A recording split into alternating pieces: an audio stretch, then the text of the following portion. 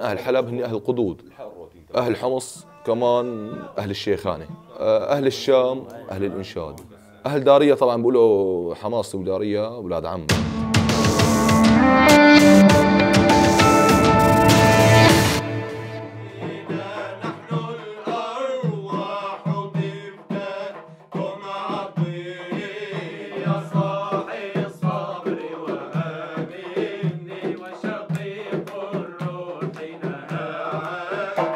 أي موشح أي قدود أي قصا أي أمر بده يكون نحن بنعمل له مثل ما بقولوا كل مين له لونه. كل مين كل فرقه له لونها كل مين بيشتغل طبعا في الموشحات كثير فرق بتشتغلها بس كل فرقه اسمعها من فرقة فلان وفرقة فلان تسمعها كل مين له نمط كل مين له شغل كل مين له تعديل. فهاي البروفات هي أساس كل شيء وأساس قبل الموالد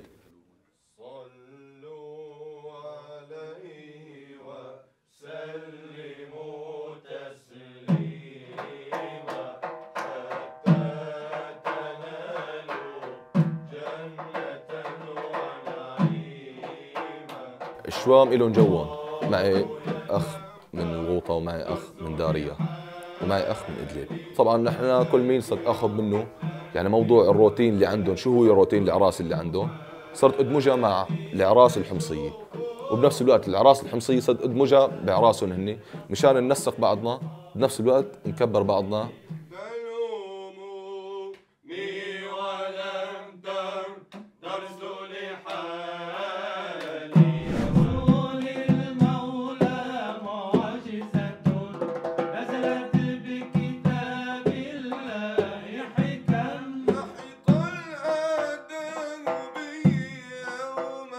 بتفوت على جو حفل فبكون في سميعة بدها موشحات بدها قدود بدها هذا الأمر.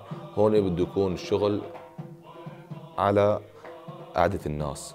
في عالم بتحب من فوتك إنه ترقص بتلاقيها مبسوطة. بدها يعني أغنية مطلوبة بس إنها ترقص فرحة كبيرة هيك يعني. كل جو كل عرس وله جوه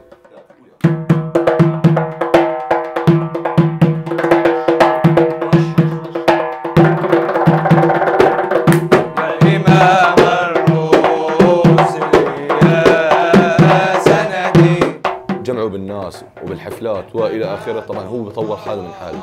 يعني طبعا بتفوت أنت أول ما تفوت على الأعراس بتشوف شو ناقصك شو الجو اللي بدهم اياه العالم شو هالأمر. هذا التطور اللي أنت فينك تتعدله لفرقتك وتكبر فيه فرقتك. وطبعا تجذب الناس الك وتطرب الناس فيك.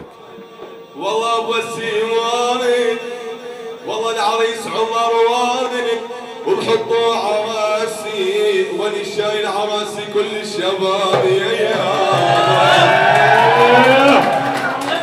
موضوع الانشاد ما مشينا فيه مشان مصاري ولا مشان هذا الأمر لا إحنا مشينا فيه أول شيء مشان ندخل بقلوب الناس. يا حبيبي